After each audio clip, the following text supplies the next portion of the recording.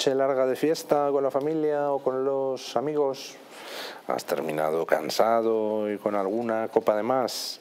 Bueno, pues ahora en exclusiva en Naturhaus llega Stuff Detox el remedio que acaba con esas resacas eternas del día siguiente que te impiden disfrutar del bienestar. Para más información, visita tu centro más cercano o visítanos en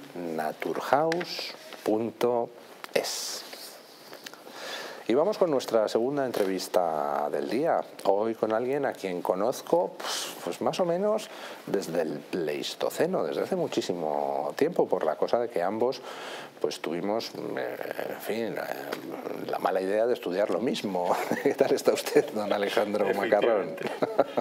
Ya hacemos dos chicos como usted y yo hablando de los temas que, vamos a hablar aquí, ¿no? Sí, Dado lo que estudiamos en su día. en fin, los dos tuvimos la mala idea de dedicarnos a estudiar ingeniería y al final pues hemos acabado eh, los dos en los sitios más insospechados. ¿Quién nos lo iba a decir? Bueno, don Alejandro Macarrón es, aparte de consultor de empresa, pues un experto en algo que parece que da un poquito de yuyu hablar en España, que es la demografía. Eh, tiene un libro, don Alejandro Macarrón, con un título enormemente descriptivo, El suicidio demográfico de España. Porque lo que está pasando en España, don Alejandro, es un auténtico suicidio. O sea, lo nuestro no es un invierno demográfico, lo nuestro es casi un cero absoluto demográfico. diríamos que el invierno es esa estación fría que lleva a la muerte, o sea, el invierno es lo que lleva al suicidio, en este caso al suicidio. ¿no? llamamos suicidio porque es esencialmente voluntario. ¿no? Ya se sabe que hay conspiranoicos que dicen que es que es todo porque nos obligan a tener niños, gente muy poderosa afuera, que existe, ¿eh? existe, existe gente que, que habla de que haya menos población y tal, pero esencialmente los niños no se tienen de forma voluntaria. Y en ese sentido sería un suicidio. Bueno, recuerdo, me, acaba usted de recordar una entrevista en la revista Wired eh, con el fundador de Apple, eh, donde él decía algo que me llamó mucho la atención. Dice, yo cuando era joven, viendo la basura que ponen las televisiones, pensaba, esto es una conspiración para hacernos más idiotas. Y decía, pero luego cuando tuve unos años más me di cuenta de que la cosa era todavía peor. Es que las televisiones ponían eso porque es que a la gente le gustaba verlo y quería eso. Sí, es muy fácil. Eh, Carlos Rodríguez Brown siempre dice que el mejor amigo del hombre en el reino animal no es el perro, sino el chivo expiatorio. Entonces, claro, en estas cosas, porque es muy incómodo, decir, no, no, es que voluntariamente estamos eh, suicidándonos, estamos como sociedad a largo plazo, estamos no teniendo niños, estamos no casándonos, estamos divorciándonos. ¿no? Es más fácil decir que es que la culpa es de otro, ¿no? que decir eh, somos, estamos fracasando colectivamente. Eso, eso no nos gusta admitirlo. Vamos a ver hasta qué punto esto es un invierno demográfico. Vamos a ver el gráfico de nacimientos de España pues desde mediados del siglo pasado, para que se vea, no, desde principios del siglo, sí, mediados del siglo, XIX, mediados del siglo XIX. Del, del, siglo XIX, para que se vea cómo ha caído. Coméntenos un poco este gráfico, don Alejandro, porque yo creo que es que es para echarse a llorar. Al principio se ve que es prácticamente hasta hace no mucho, eh, nacen más o menos los mismos niños cada año, lo cual ya significa un ligero descenso de la tasa de natalidad porque había más población. Lo que pasa es que como no se moría, cada vez se morían menos niños porque fue cayendo las tasas de mortalidad infantil y juvenil, no pasaba nada, estaba perfectamente compensado incluso con creces. Hay un punto intermedio en la gráfica muy interesante que es el año 39, que es el año que España toca a fondo de, su mayor tragedia de los últimos 200 años, donde está España destrozada. Que es la guerra civil. La guerra civil. Media España está victoriosa, pero muy pobre, y la otra está derrotada y pobre, las dos cosas a la vez. 20 millones menos de habitantes. Bueno, pues resulta que nacen más niños que ahora, ¿no? Y al final, a la derecha de la gráfica, eh, he separado, eh, teniendo en cuenta que hay muchos niños que son hijos de, inmigrantes, en azul son los nacimientos totales y en rojo siguen siendo los nacimientos de madres españolas para que se vea que lo que generó un, pequeño repunte, un cierto repunte que luego ha sido efímero, eran sobre todo inmigrantes. Entonces comparamos con el año 39, eso es del año 20, todavía han pasado dos años más que está todavía peor la cosa. Es eh, realmente alucinante. Y luego el año 39 es muy interesante porque cuando la gente dice hoy día que es que no tenemos niños porque hay muchas dificultades, hay precariedad, hay cosas que son reales, porque es verdad que tenemos problemas importantes. Pero claro, los problemas del año 39 Tela. los niños del año 39 son, menos los prematuros, todos han sido concebidos en el último año de guerra civil. Cuando mi papá, por ejemplo, en, Madrid, que yo no tengo víctimas de guerra, pero pasaron más hambre que el perro de un ciego, mi abuelo perdió 40 kilos, pues comían como mucho lo que llamaban las píldoras del doctor Negrín, que eran unas lentejas infames.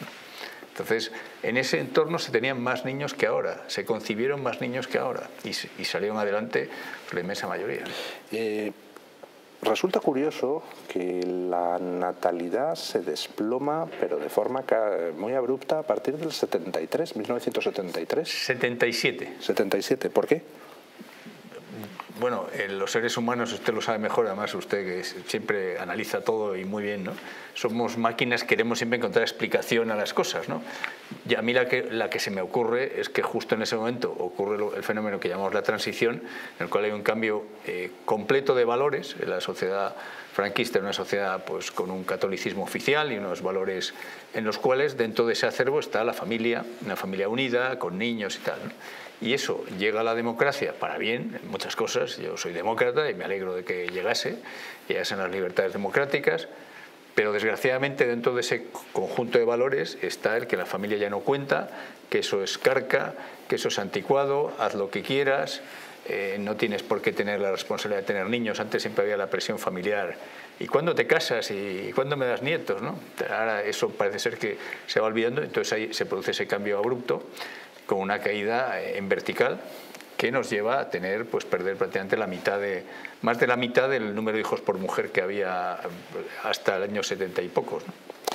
En todos sitios ha afectado igual esa pérdida de población hay grandes disparidades por provincias y don Alejandro pues, ha elaborado un gráfico basándose en un dato que refleja los movimientos relativos de la población. Vamos a ver cómo han evolucionado el número de diputados en las provincias españolas entre 1977 y 2019. Eh, las disparidades son enormes, ¿no? Son enormes, serían más grandes todavía si no hubiese ese mínimo de dos diputados por provincia. Recordemos que se reparten en el Congreso hay dos, uno de Ceuta y Melilla, luego dos por provincia y luego quedan 248 repartidos en proporción a la población. Y, se ve que Madrid, el arco mediterráneo y los archipiélagos están en verde, más o menos, también la zona de Valencia o Valencia Castellón está a cero, pero ha ido bastante bien. Toledo es un poco, Toledo y Guadalajara ¿eh? como prolongación de Madrid. Guadalajara ha sido curiosamente la, la, provincia como provincia que mejor ha evolucionado demográficamente en estos años. Lo que pasa es que tiene, tiene muy poca población, pero ahí la Guadalajara profunda, que es de la España vacía, por así decirlo, y la Guadalajara corredor de Henares Madrid, y luego se ve el noroeste, que es, es, de lo peor de, demográficamente de evolución de España, de Europa y del mundo. Vamos, eh, mi Asturias natal, eh, Orense, eh, perdón, Ourense, porque lo importante en estos años ha sido meterle una U entre la O y la R y no preocuparse de la tasa de natalidad.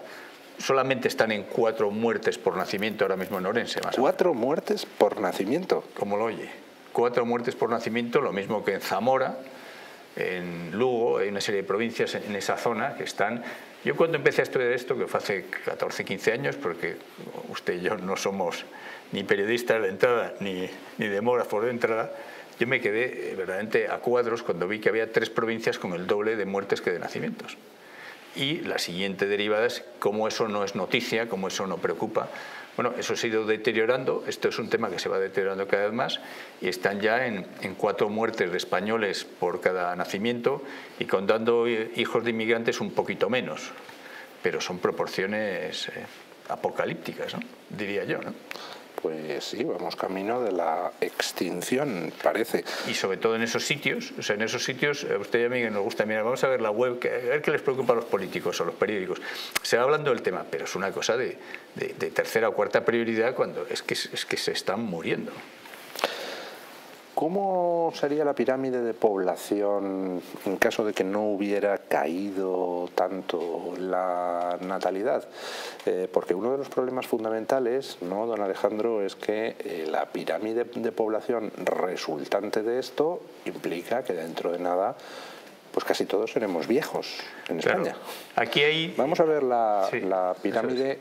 Tienen ustedes en la parte de dentro la pirámide actual y los flancos que se ven hacia afuera son precisamente cómo sería la pirámide de población si no hubiéramos sufrido esta brutal caída de la natalidad pues habría como unos 20 millones, ya a lo mejor 21 millones más de españoles menores de 45 años, con muchísimos más niños y jóvenes, y por tanto tendríamos una sociedad demográficamente mucho más eh, vital, ¿no? porque el problema es en demografía, en la evolución que tenemos hay dos efectos, a largo plazo, y ya está empezando a pasar, pierdes población, pero antes que eso lo que se produce y, y, luego se produce continuamente, hay un efecto de envejecimiento. Envejecimiento en el sentido relativo, es decir, que hay más porcentaje de gente mayor, más porcentaje de gente bastante mayor y más porcentaje de viejos, que es la palabra que se ha dicho toda la vida. Mi amigo Joaquín Leguina siempre dice, no, no digas viejo, pero si es la palabra, ¿no? Bueno, pues ancianos, gente mayor, como le queramos llamar, y gente muy mayor, ¿no? Hay unos porcentajes de nonagenarios y octogenarios que nunca ha habido y eso en parte se ve, eso es, en parte es muy bueno porque es porque ahora vivimos más, pero el problema es que el porcentaje lo aumentan enormemente, el que abajo en el denominador hay mucha menos gente joven. ¿no? Y eso crea una sociedad muy complicada de, que tenga prosperidad, de que tenga alegría, De que las pensiones sean sostenibles. De que las pensiones sean sostenibles, de que la sanidad sea sostenible. Además, eh, esa gente, cuando deja de haber niños, hay mucha gente que no tiene ni siquiera un niño, ¿no? porque todavía el que tiene un hijo, pues algo hoy día ya no está, no está la misma ética familiar, antes que siempre se acogía, se quedaba, el, si morían tus padres, uno de los dos, pues el otro se quedaba en el domicilio familiar. Ahora menos gente hace eso, pero aún así los hijos algo cuidan y algo dan cariño a los mayores. Es que hay mucha gente, cada vez más gente de soledad, hay un problema de soledad creciente, además de las pensiones, la soledad en España se ha multiplicado por seis el porcentaje de personas que viven solas. ¿Por desde seis? ¿Desde cuándo? Desde el año 70, en 50 años, 50 años prácticamente, el censo de 1970, poquísima gente vivía sola, menos de uno cada 50, y ahora ya es uno de cada ocho, así. Una de cada ocho personas vive sola. Vive sola y eso va creciendo. No pasa solamente en España, pasa en, esas. La soledad es una de las pandemias del siglo XXI. De hecho, en, en el Reino Unido y en Japón ya han creado ministerios para la soledad muy en plan moderno, que es paliativo, es vamos a ver qué hacemos en vez de ir a la raíz, que es, que, cuál es por qué hay tanta soledad. Falta de niños y una desestructuración familiar eh, devastadora. ¿no? Es decir, la, la, mitad de la gente ya no se casa nunca, por ejemplo en España, con los datos actuales, y de los que se casan se acaban divorciando, separando la mitad. Entonces, e, esos matrimonios para toda la vida, que alguno no era tan bien avenido como otros y que casi todos aguantaban, algunos sí que es verdad que eran unas convivencias que se equivocaron radicalmente y incluso en época de Franco había gente que vivía separada porque es que no se aguantaba, pero era excepción, era poco, incluso en países donde había divorcio permitido mucho antes que en España, las tasas de divorcio eran bajas y eso es lo bueno para una sociedad. Ahora parece que nos da igual, a los poderes públicos les da absolutamente igual eh, a los políticos a casi todos les da absolutamente igual. De hecho, hay políticas que prácticamente fomentan eh, la no nupcialidad, que la gente no se case y facilitan el divorcio y premian la monoparentalidad, lo cual es una barbaridad porque la monoparentalidad que tiene un riesgo incrementado de pobreza eh, hay que, digamos, ayudarla cuando haya pobreza, porque también Amancio Ortega se separó siendo ya muy rico y ahí se creó un, hogar monoparental con Rosalía Mera, supongo, al frente, que no eran muy pobres. ¿no? En cambio, familias biparentales donde los dos progenitores están en paro y serán siempre más pobres. Bueno, pues eso se está haciendo y eso es, eso es muy malo. Eh, uno de los mantras que suele repetirse es que si no se tienen más hijos es porque la gente, en fin, no tiene capacidad económica. Y por supuesto que ese factor eh, tiene influencia. Y hay gente concreta que no tiene hijos por esa razón, porque económicamente no puede, pero usted elaboró un gráfico que muestra perfectamente que el problema fundamental no está ahí y es el número de hijos por titular de la familia real española desde mediados del siglo XIX. En ese gráfico se ve cuántos hijos tenían los reyes de España desde mediados del siglo XIX. Don Alejandro, si lo puede comentar. Pues ahí se ve una caída. Eh, Isabel II tuvo 12 hijos, es verdad que cinco murieron enseguida, se, se suele hablar de nacidos vivos, eh, podían ser 12 o 7. Don Alfonso XII pues, tuvo tres, pero es que el pobrecito murió con 28 años, que, que habría tenido más. Alfonso XIII tuvo siete. Hablamos de hijos dentro del matrimonio. Los de fuera del matrimonio generalmente no son buscados, no son evitados y parece ser que, que tú les tuvo atenciones a sus hijos, pero tuvo algunos que otros, eh, Alfonso XIII. Eh, ¿no? Don Juan de Borbón cuatro, Juan Carlos III, Felipe VI tenía dos, yo suelo hacer la broma que Leonor en este paso tendría uno y que luego tendría que buscar algún primo o tal. Pero es que en otras familias reales pasa tres cuartos de lo mismo. Si uno ve familias reales, además de otras culturas muy distintas, por ejemplo la marroquí, el abuelo del actual rey tuvo creo que siete hijos, el, su padre Hassan II creo que cinco y este se ha, plantado en dos. ¿no? Y te vas al extremo oriente, los japoneses lo mismo. Y no creo que en estos casos sea porque no tienen posibilidades económicas para mantener a más hijos. Tienen posibilidades económicas, no hay problema de que a la mujer le despidan del trabajo, sino todo lo contrario, le viene bien para asegurar más descendencia. Pues les pasa como, como pasa a otras familias, se casan muy tarde, eh, también hay separaciones, está viendo que nunca ha habido en las familias reales no les apetece tener más, ya, he cumplido eh, y ya está. Y al final pues son un reflejo de la sociedad eh, en la que viven. Se ve también en, las 20 ciudades españolas con más paro y las 20 con menos paro. Las 20 con menos paro son la mayoría de las de más renta per cápita, como Pozuelo de Alarcón o San Cugat del Vallés o Majadahonda, los municipios ricos de Madrid, Barcelona, Vizcaya, eh, Burgos, son una serie de ciudades que tienen bastante buen nivel de vida pues su tasa media de hijos por mujer de fecundidad es igual, de hecho incluso ligeramente inferior a la de los 20 con más paro, que son municipios con muchísimo paro. Molinares, Chiclana, muchos de Cádiz, casi todos más bien al sur. No hay diferencia. O sea que no es cuestión económica, sino más bien de valores, que estamos en una sociedad a la que los niños, por alguna razón, le repelen. Estamos en valores, valores en el pueblo llano y en la élite porque las élites tradicionalmente eran natalistas, las élites crean más que nadie la cultura, no solo, no, todo lo hacen las élites y además tampoco son marcianos respecto al pueblo, hay, una cierta comunicación. O sea, en Cataluña no habría tantísimo odio a España actual si no hubiese habido unas élites que no han parado de machacar que, que lo español es muy malo y lo catalán es lo mejor del mundo mundial. ¿no? Es decir, eh, pues las élites, eh, casi todos los países siempre eran natalistas porque sabían que la riqueza de su país, la riqueza es la población. Ahora no es así.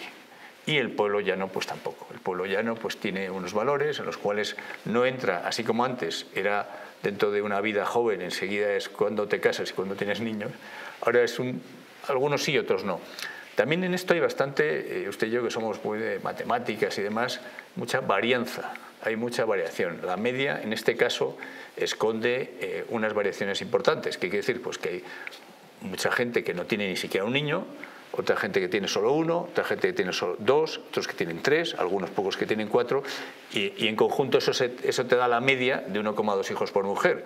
Pero sigue habiendo gente en nuestra sociedad que tiene, que tiene siete hijos. Sí, habiendo, son pocos, pero lo que quiere decir es que no son, tampoco son marcianos, son tan de nuestra sociedad como la otra. Lo que pasa es que coinciden menos con grupos numerosos.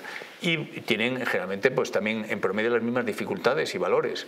Había, ¿Cómo se puede solucionar este problema? Porque mm, a este paso, mm, vamos, no va a haber nadie que pague las pensiones dentro de no mucho tiempo y ante eso solo hay dos alternativas. Alternativa uno, pues recurrir a la inmigración masiva, pero resulta que los inmigrantes pues al principio cuando llegan sí tienen una tasa de fecundidad mayor, pero en cuanto se han integrado un poquito asumen los valores de la sociedad y la tasa cae igualmente, ¿no? Bueno, ahí vuelve a haber una varianza importante porque los inmigrantes hay, eh, los que de verdad tienen bastantes hijos por mujer, que también acaba cayendo, pero no tanto, son los musulmanes y o africanos.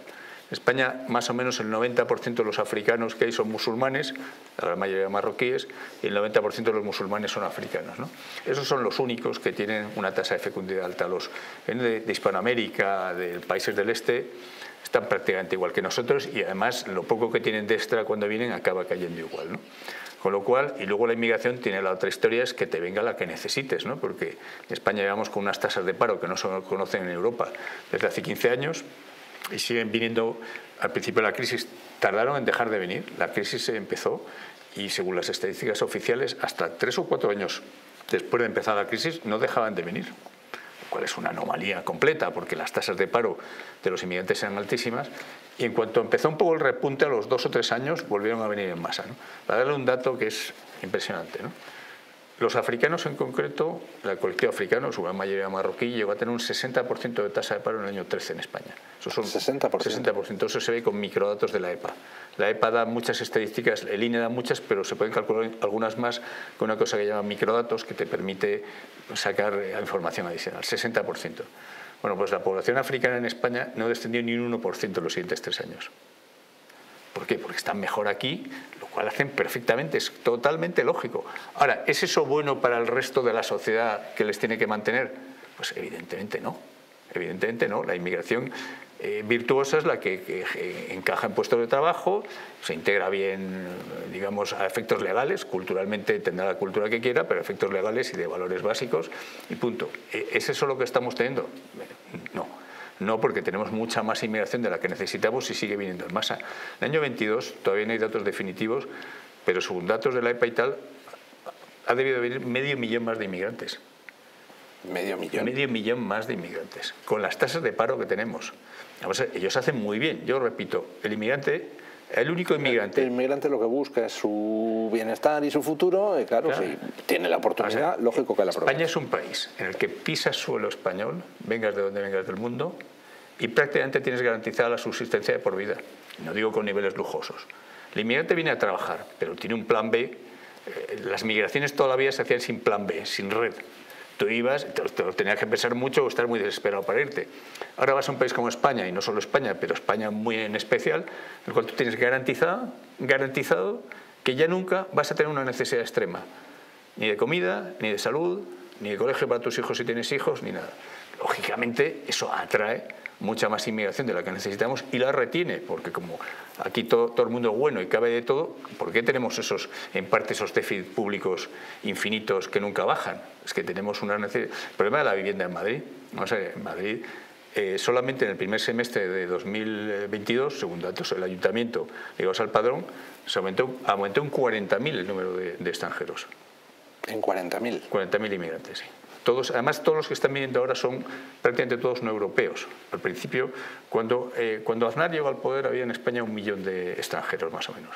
La mitad eran, o más eran europeos occidentales, que son gente que en realidad no les solemos llamar inmigrantes porque ocupan puestos, de hecho, mejores que la media Son más bien veraneantes o ejecutivos que se han pasado al Mediterráneo. Eso es, sobre todo ejecutivos, empresas alemanas, francesas, profesores, gente que se ha casado con un español algún español, etcétera, pero son gente que cuando Aznar dejó el, poder había 4 millones. Habían venido, empezaron a venir en masa, tanto iberoamericanos como africanos. Con Zapatero siguieron viniendo en masa hasta que empezó la crisis. Bueno, no, hasta que empezó, no, hasta que llevaba unos cuantos años de crisis. De hecho, no, según las cifras oficiales, no empiezan a caer hasta el año 12 o así el número de inmigrantes y a partir del año 14-15 vuelven a venir en masa, hasta ahora, incluso el año de la pandemia. O sea, el año del desastre de los desastres, el 20, y el 21 también fue malo, pero el 20 fue... Tenemos cosa que en ningún país de Europa ocurre. Y eso ocurre porque tenemos, de verdad, eh, un estado de bienestar que está... Eh, no sé si el símil es cáncer, crecimiento metastásico, no puede ser, no puede ser porque lo lógico es que, insisto, que una inmigración, como usted dice, para pagar las pensiones y ellos lo harán porque vivirán mejor. Sería win-win cuando ganamos las dos partes, pero no es lo que está pasando y no es culpa de los inmigrantes. No, no, evidentemente. si hay una ley que permite hacer algo y alguien hace uso de eso, eh. la culpa no será nunca del que hace uso de eso. La culpa será en todo caso del que haya hecho una ley que esté mal hecha. Y luego, si hay problemas de inmigración con los musulmanes, no es culpa de las personas. Nadie tiene culpa ni mérito de haber nacido ni musulmán ni cristiano. Eso, eso lo dirá el Señor o el azar, según cada uno crea o no crea. Otra cosa es que haya más problemas de integración con determinadas comunidades, como se está viendo por ahí en Francia, en Bélgica, en Inglaterra, en, todas partes. ¿En estos momentos hay alguna provincia donde el número de nacimientos de madre extranjera sea mayor que el número de nacimientos de madre española? Solo con madre no, pero que tenga al menos un progenitor extranjero, eh, sí, hay una que es más del 50%, que es Gerona, En Gerona, En Gerona, más del 50% en el de año los 21, nacidos según los microdatos del INE, como le decía, eh, sale exactamente un poquito más del 50. Y salen prácticamente casi casi el 50 también en Lérida, Barcelona, Baleares, Tarragona, sea, las cuatro provincias catalanas al copo. Madrid una también pregunta, cuando hablamos de que el 50% de los nacidos en Gerona tiene al menos un progenitor extranjero, hablamos de progenitor Nacido en el extranjero. Nacido en el Nacido extranjero. extranjero.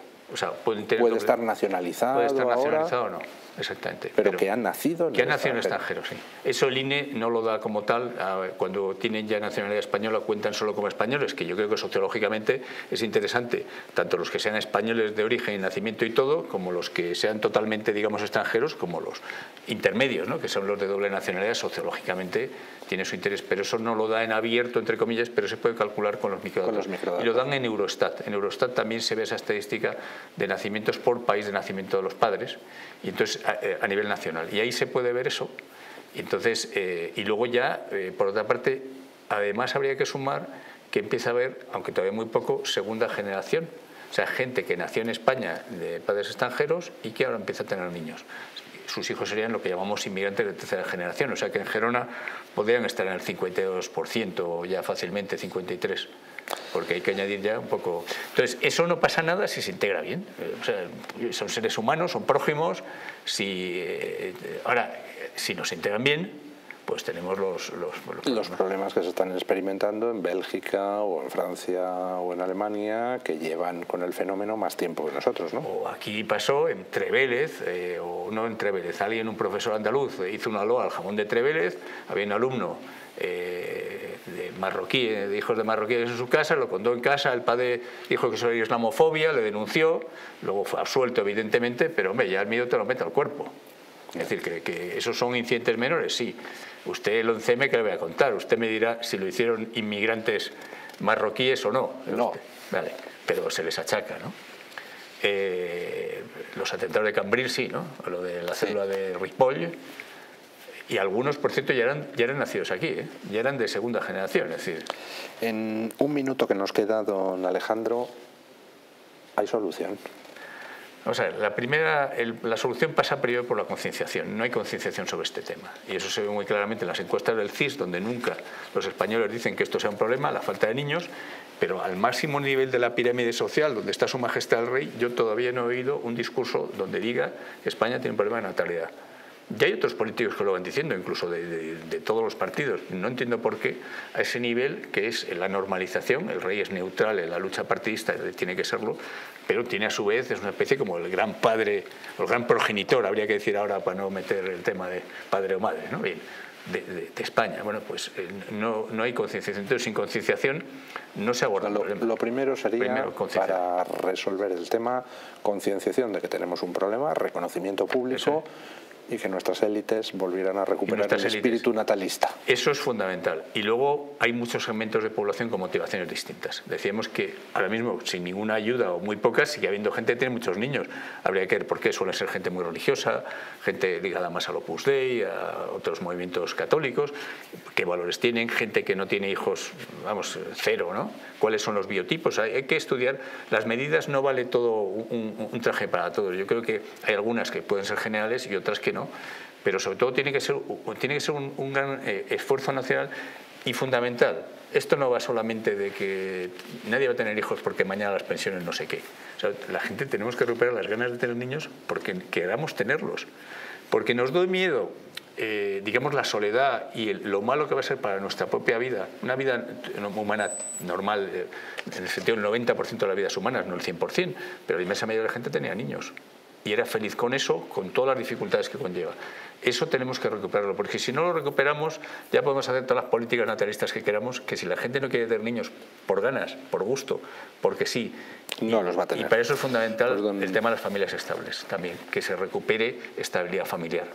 Que Pues don Alejandro, queda usted emplazado para otra ocasión para entrar más en detalle en las posibles soluciones. Pueden ustedes usted seguir quiera. a don Alejandro en eh, Twitter a través de la cuenta de la Fundación Renacimiento Demográfico. Y recuerden el título de su libro, El suicidio demográfico de España, publicado por Homo Legens. Muchísimas gracias por estar ahí al otro lado de las ondas, gracias por acompañarnos en Distrito TV, en Con España Vueltas. Hasta un próximo domingo.